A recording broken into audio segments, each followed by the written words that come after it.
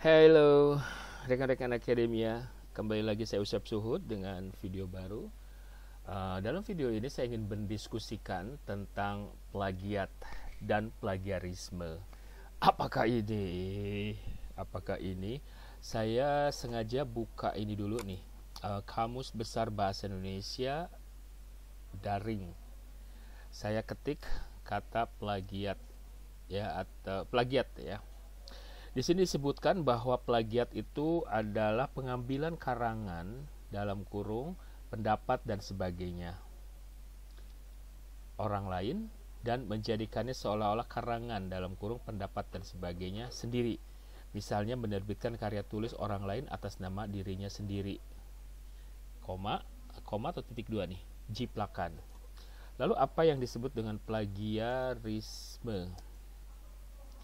Plagiarisme adalah eh, kata benda ya, noun, penciplakan yang melanggar hak cipta. Plagiarisme. Nah, ada nggak sih kata plagiasi?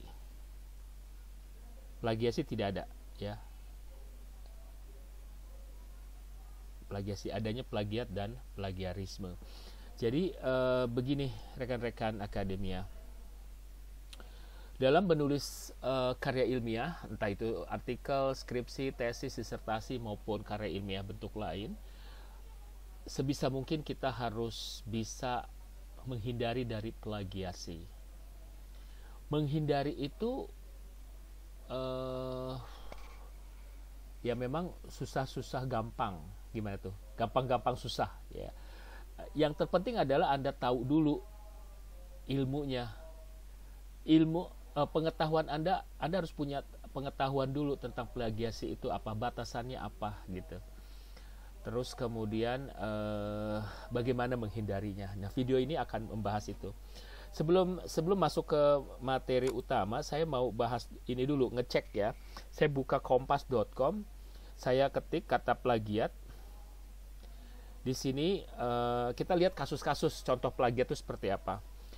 Nah, di sini beberapa waktu yang lalu ya, uh, ada kasus youtuber calon sarjana. Katanya dia melakukan plagiat untuk uh, konten-kontennya yang dia buat eh, yang yang dia buat. Ya akun calon sarjana. Saya nggak tahu isinya apa dan kasusnya seperti apa saya nggak tahu. Tapi yang di sini dari judul-judul ini uh, dibilang bahwa dia melakukan plagiat ya. Mungkin karya orang lain atau mungkin karya orang lain dicontek Uh, silahkan anda cek satu persatu. Di sini CEO Invia angkat bicara terkait dugaan plagiat akun calon sarjana. Oh, ini masih kasus akun sarjana. Nah, di sini ada isu tentang self self plagiarism atau auto plagiat. Ini tahun 2013 ya, kasus lama. Uh, plagiat di sini disebut plagiaris auto plagiarism atau self plagiarism itu kayak misalkan kita udah pernah menerbitkan satu karya tulis sebelumnya kita terbitkan ke jurnal entah jadi buku entah apa lalu e, sebagian untuk seluruhnya kita terbitkan lain e, kita terbitkan lagi. Nah ini e, mungkin terjadi pada beberapa orang.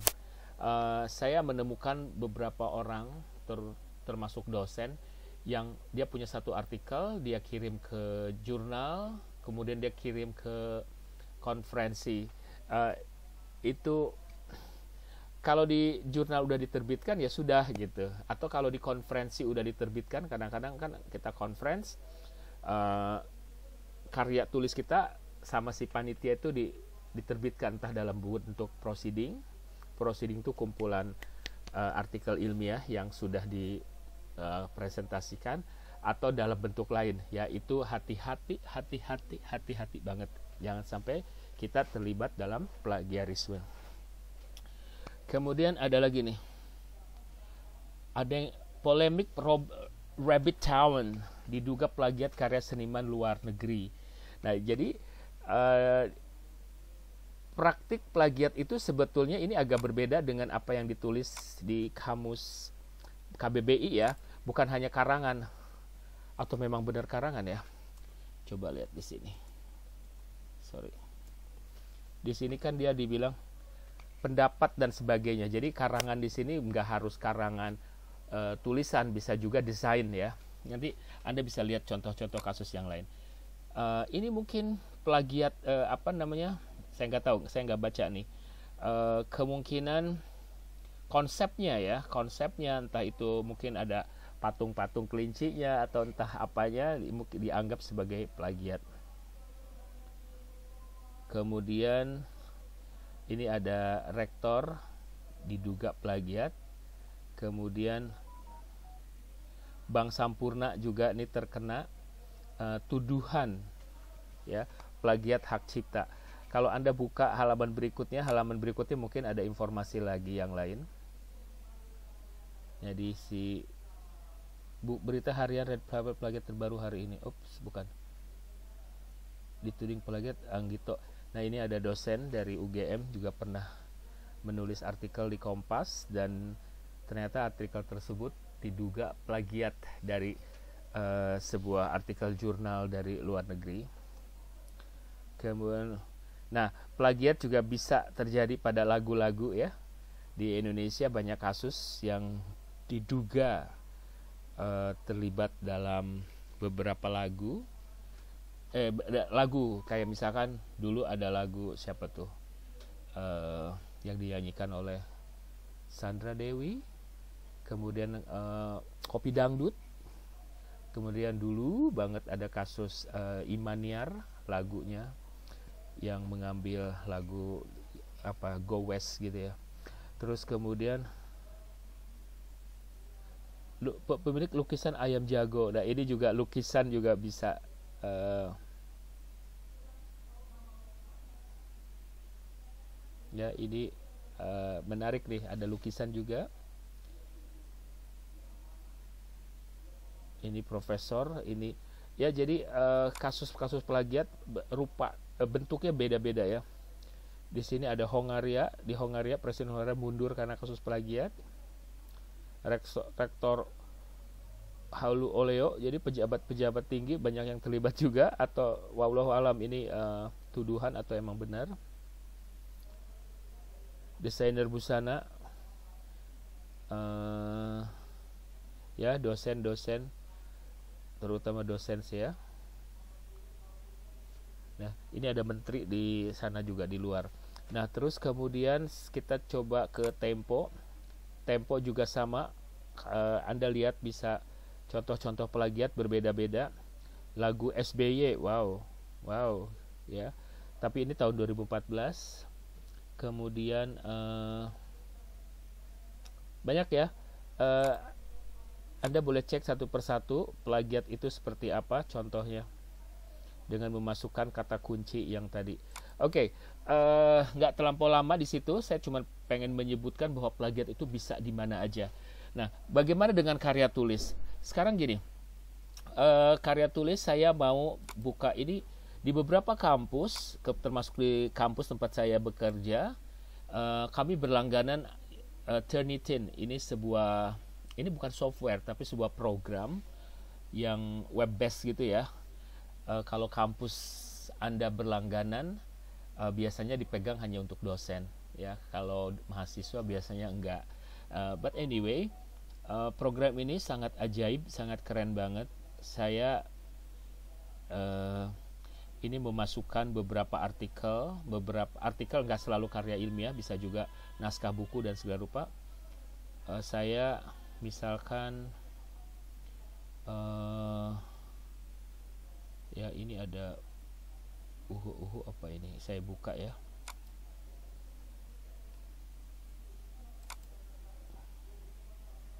nah ini ada blok-blok warna yang menunjukkan bahwa uh, ya ini secara umum si artikel ini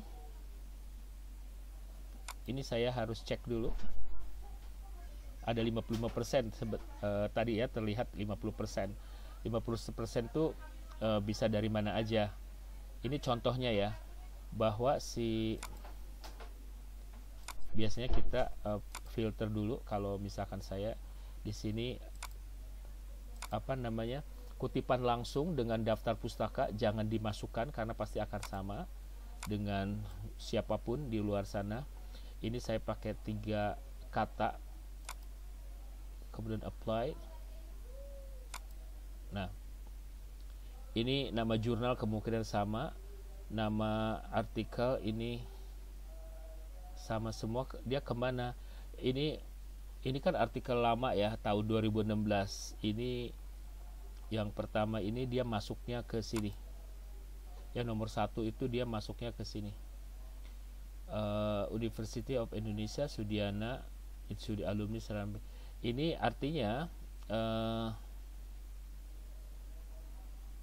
ini saya bukan mau bilang bahwa si artikel tersebut plagiat ya enggak ini bisa saja artikel ini uh, sudah diduplikat eh, dalam arti uh, dia diposting oleh berbagai pihak ya postingannya jadi banyak gitu sehingga uh, ber, bertumpuk-tumpuk sehingga terkesan plagiat. Saya cuma menunjukkan kepada uh, Anda bahwa ini contoh bagaimana si Turnitin ini bisa uh, tracing ya, bisa memperlihatkan kepada Anda uh, nomor misalkan bagian mana dari artikel yang Anda tulis itu uh, bisa terlihat seperti uh, sama dengan tulisan orang lain ya.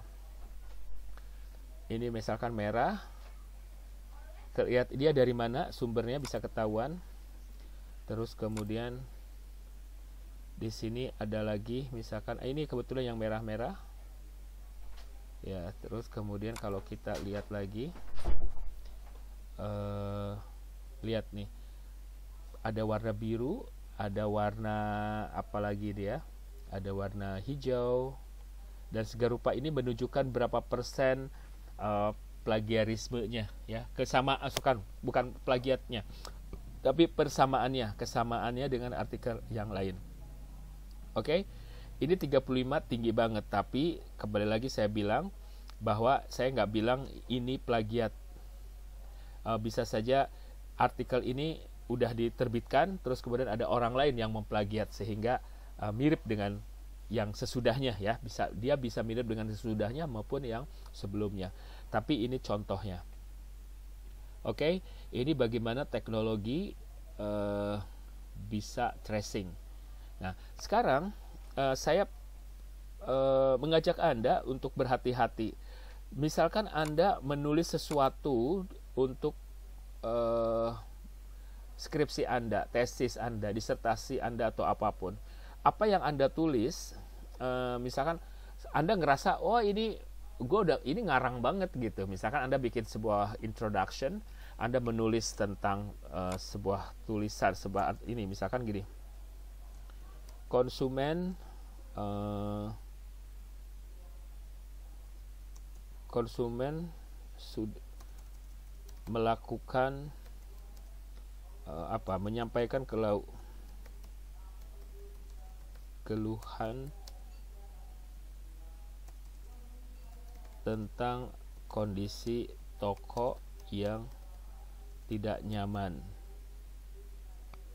Ya, misalnya Anda bikin kalimat seperti ini, Anda ngerasa ini tulisan Anda sendiri, tapi yakin nggak tulisan Anda ini, uh, misalkan bebas dari plagiat?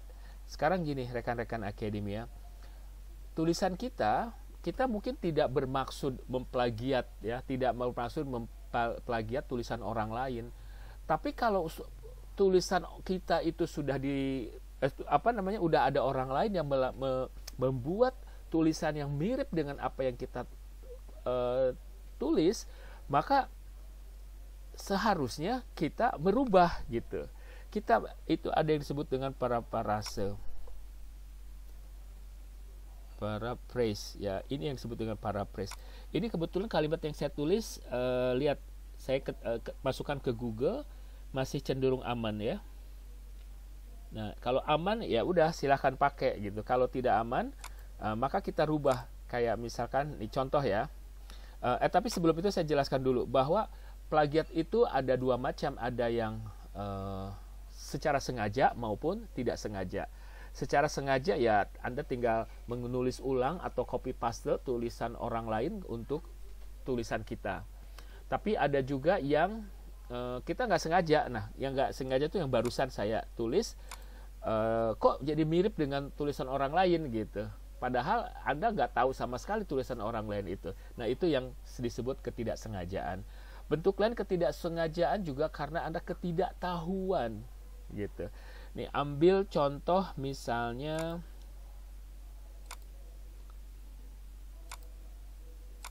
ya di sini saya buka detik. Misalkan dibuka salah satu artikel dari detik misalkan gini. Ombudsman ini saya, saya copy paste nih ya. Ups sorry sorry sorry sorry.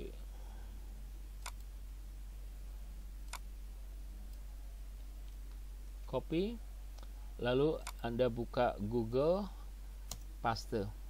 Anda lihat. Apa yang saya copy paste itu sama persis dengan berita yang ada di detik. Benar ya? Ombudsman menaruh harapan. Ombudsman menaruh harapan dia ada di detik.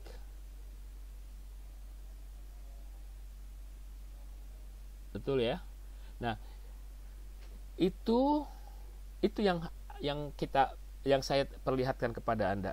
Nah, sekarang eh, apa yang barusan Anda tulis ya, apa yang barusan Anda tulis ini bisa Anda bisa menghindari plagiarisme itu dengan dua cara. Yang pertama melakukan para prase, para prase itu merubah kalimat tanpa mengganti artinya. Di sini misalkan artikel ini ada dua kalimat. Ya, kita akan Ombudsman Republik Indonesia, Ombudsman kita nggak bisa ganti. Jadi kita ganti, ya kita harus ganti. E, menaruh harapan kepada Menteri Pendidikan Indonesia dan Kebudayaan hari menaruh harapan bisa nggak ditulis berharap, ya. Nah sementara Menteri ini ini nggak bisa diganti, ya. Tapi e, minimal ada kalimat yang dirubah formatnya atau Anda menggunakan uh, kata lain, persamaan kata atau uh, susunan kata atau kita tambahkan atau kita kurangi dan seterusnya. Di sini ada kata responsif terkait temuan masalah di perguruan tinggi. Responsif itu apa? E, respon, memberikan respon, misalkan gitu kan. Ombudsman berharap, berharap tadi udah ada berharap ya, tapi mungkin ini bisa e, kita rubah uh, misalkan responsif tuh kita ganti memberi respon cepat gitu kan. Terkait memberi respon cepat terhadap masalah di perguruan tinggi. Terhadap uh, masalah mungkin kita ganti apa masalah itu uh, problem. Problem apakah bahasa Indonesia cek di KBBI problem benar. Berarti kita bisa mengganti kata masalah menjadi problem. Terhadap problem problem di per, pendidikan tinggi mungkin kita ganti ke perguruan tinggi benar ya kata dikti kita hapuskan aja. Jadi semacam itu. Uh, ini saya gabungkan lagi. Ombudsman Republik Indonesia berharap kepada Menteri Pendidikan dan Kebudayaan. Ini dua kalimat yang sama. Agar kita ganti. Agar merespon cepat. Responsif itu uh, mungkin kita ganti jadi merespon. Me merespon itu apa sih? Uh, membalas atau memperhatikan atau apa gitu. Coba ini kita kita ini dulu ya. Ke sini lagi. Seberapa tinggi? Nah, yang tebal-tebal tadi nggak kelihatan muncul ya nggak kelihatan muncul dibandingkan dengan yang sebelumnya saya cuman copy paste. Kalau ini kita saya tulis ulang ternyata nggak ada yang yang mirip ya. Nggak ada yang mirip kecuali ombudsmannya kecuali uh, menterinya. Nah itu yang disebut dengan para prase jadi video ini menunjukkan kepada anda kita mencoba membuat para prase nah ini ini nggak cukup. Kita tetap harus menuliskan siapa eh, apa istilahnya misalkan namanya Komara Komarudin. Oh jangan Komarudin. Uh, Komaru ya misalkan Komaru 2019 misalkan gitu. Ya. Let's say uh, pertama kita membuat ini para prase yang kedua yang harus kita lakukan adalah uh, menuliskan sumbernya ya nah jika jika pun anda males membuat para prase atau Anda ingin kreatif dalam tulisan Anda, sebagian para prase, sebagian lain Anda akan membuat kutipan langsung ini, ini gak ada masalah. Yang Anda lakukan adalah membuat kutipan langsung, ya. Yang ketiga adalah kutipan langsung. Ya, saya misalkan ini kalimat ini yang saya pakai cuma kalimat yang kedua. Misalkan penulisnya adalah Komaru 2009. Ya, ini cara nulisnya. Menyatakan bahwa nah, tanda kutip ombudsman bla bla bla bla bla bla bla gitu. Komaru halamannya berapa? Oh, kalau untuk uh, ini kalau anda uh, anda membuat kutipan langsung itu wajib menaruh halaman entah itu buku entah itu dari uh, artikel jurnal entah dari mana artikel itu harus ada uh, apa kutipan langsung ini ada harus ada nomor halamannya lalu bagaimana jika yang diambil adalah sebuah artikel dari surat kabal seperti ini. Nah, tidak masalah yang harus Anda lakukan adalah kayak berita portal ini kan nggak tahu ada halaman satu duanya ya. Ya, di sini emang dia tulis halaman satu, halaman dua. Tapi pada umumnya e, menurut APA ya, apa American Psychological uh, apa American Psychological ya Association yang APA itu ini kita harus menghitung uh, paragrafnya. Ini paragraf pertama ya baru tadi kan saya ngambil dari sini ya, benar ya. Maka yang kita tulis di sini para titik satu. Jadi paragraf satu. Komaru dalam kurung 2019 paragraf satu menyatakan bahwa bla bla bla. Jadi paragraf disingkat menjadi para aja. Oke, Rekan-rekan akademia sampai sini Anda masih mengikuti ya. Yang pertama untuk mencegah melakukan uh, plagiat tentu saja niatnya dulu nah, niatnya jangan uh, ber, berplagiat. Tapi di sini saya tulis uh, kita melakukan parafrase dengan diakhiri atau diawali ya. Cara mengawali misalkan gini. Komaru dalam kurung 2019 uh, mengungkapkan bahwa ombudsman Republik Indonesia berharap gitu kan e, mengharapkan misalkan gitu kan ter, e, tergantung kalimatnya yang enak kayak gimana nah ada bisa menulis begitu atau dengan cara yang tadi om komarunya di dalam kurung nah sementara e, cara lain untuk melakukan menghindari plagiat adalah dengan memasukkan kutipan langsung uh, ini adalah adat sopan santun etika. Tadi seperti yang saya gunakan caranya ketika Turnitin, ketika saya membuat filter, saya uh, ada beberapa poin yang saya lewatin ya, saya filter kayak misalkan uh, daftar pustaka dengan quote ya, artinya kalimat-kalimat yang di quote itu tidak akan dianggap sebagai plagiat karena ini ini ditandai dengan kutipan langsung. Lalu saya mau ambil contoh nih. Saya udah menyiapkan satu ini. Ini sering terjadi misalnya uh, kepada mahasiswa saya ambil sebuah artikel berbahasa Indonesia saya akan coba ngambil ini Smith et al. Mungkin sampai sini ya. Kita ini saya random aja pilih. Oh atau ini nih. Hmm, dia nah si penulis ini dia menggunakan tanda kutip ya.